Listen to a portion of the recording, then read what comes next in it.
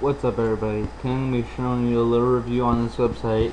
It has, and this website's awesome because it has many online editors and tools that are all online. So it has an image editor, music creator, audio editor, screen capture, vector editor, image markup, swatch editor, and effects editor. The name of this website is up here. I'll include a link in the description. It's called, I don't really know how to pronounce it. It's called, I pronounce it avery.com forward slash tools. So first, I'll show you. This will be a, probably have multiple parts. I'm not sure yet, depending on how long it comes out. But let's get started. Let's start with the image editor. First, you click the tool. You can always come up here and select it from here too. And you click Launch Phoenix. That's the image name of the image editor. And it's sort of like Photoshop. I I prefer a different website for this kind of photo editor, but I'll do a review on that one too. Just you have your your mouse, your move tool, all your stuff. And your front end layers over here. You can also select layers, say new layer, or new Phoenix layer, whatever, it doesn't matter. You select all, sort of like Photoshop, not as fancy. So yeah, that's the photo editor. Um, I wish I could show you more, but I'm not really used to using this photo editor, so I'll probably figure it out if I want to. But X out of that quickly page.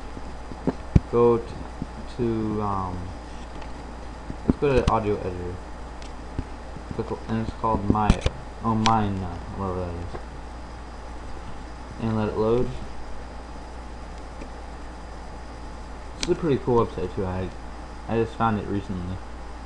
So okay, so this is pretty cool how you got multiple tracks. It's sort of like Mixcraft 5 or LMMS.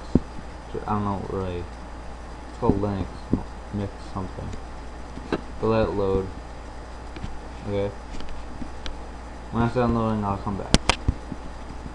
Okay, now that's done loading, see how it has multiple tracks already in here? We can preview that by clicking place on. Let me just actually max out my iTunes. Because it probably has music on. Okay, now we'll preview this by clicking the play button.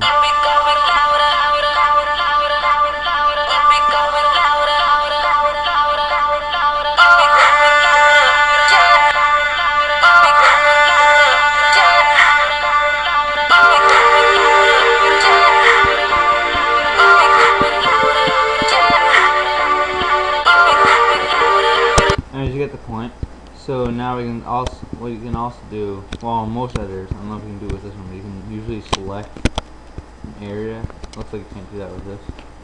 Maybe you can. Let's click edit. Don't click, cut, click. Oh, no. I guess you can't. Maybe you can. Oh yeah, this is how you trim it. See where, if you hover over this arrow above here, it says trim. So you can, like, that's how long it was. So we make it shorter basically cutting off stuff. So, you, so like, um, like there's an audio editor called Audio, Audacity or however you say it, and you can just highlight and then click the delete key and it will delete it as soon as trimming. But this one you have to drag. Now let's try it. Or start like halfway that. And now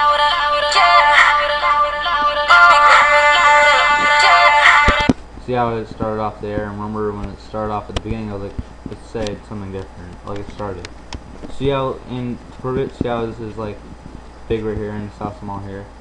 See how when you get closer it still stays big. Yeah so that's a little proof proof okay. So now and you can also save it I don't know how you can save it so save as and you name it for description be the login and register to save I guess.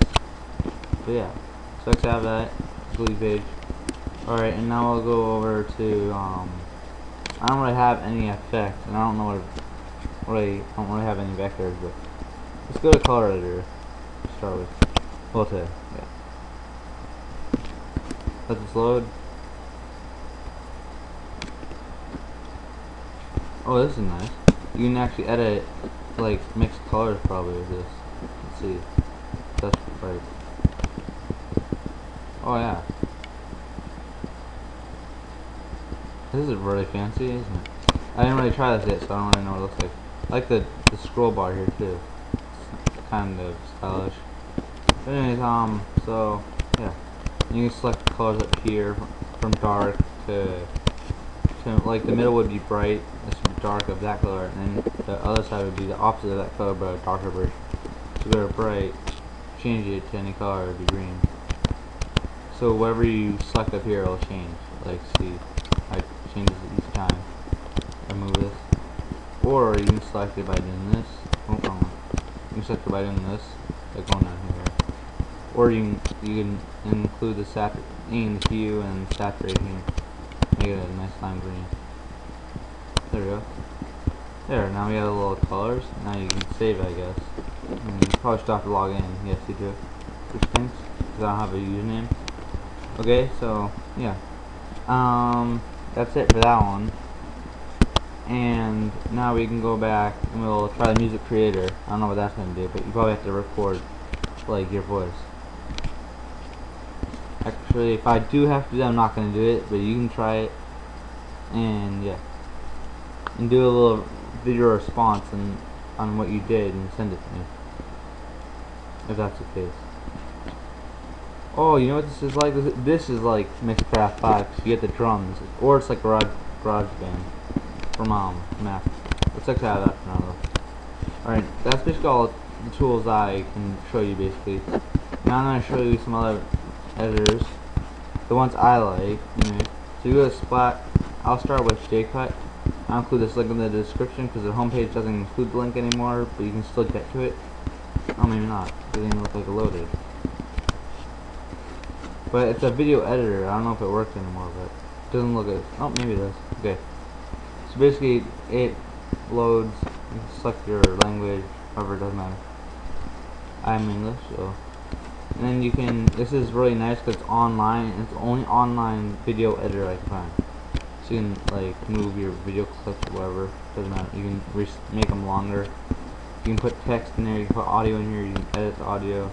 You can edit the audio volume. Really nice. So if you have pictures, you just drag and drop pictures into here.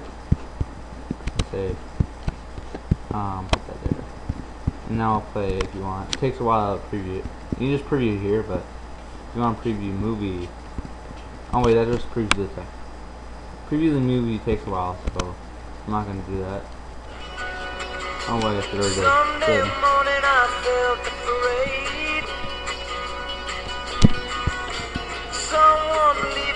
I'm not gonna put in channel of down this audio of I'm recording. So yeah. That's nice.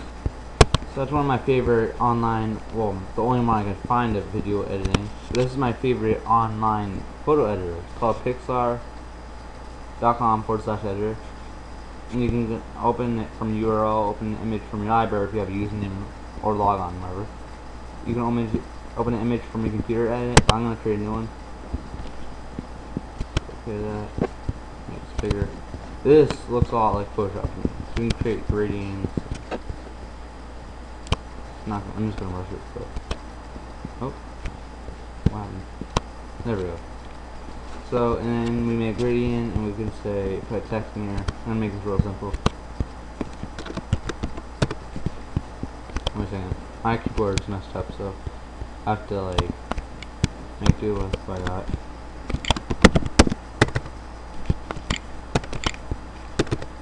Sorry.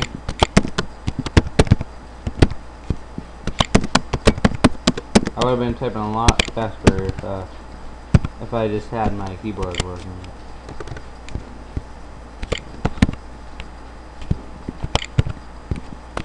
Alright, good enough. Alright, so we'll do that and put that in the middle, make it a little bit bigger. Crap.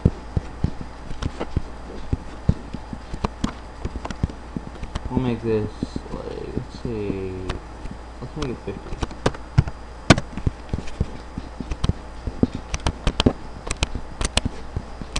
We'll make it a little bit centered. Next, what I want to do is, I'm just going to show you how you can make a nice silver kind of look. So go to the layer styles. Okay, load. Oh. Sorry about that.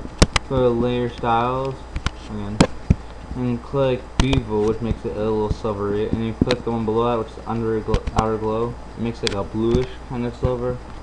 or you can just make a drop shadow which makes it behind it. And wait, hold on. Yeah. So Blueville silver, but if you want like a like a tiny bit of blue in there, blue silver, it makes it like that. Makes a nice look. Makes it kind of noticeable.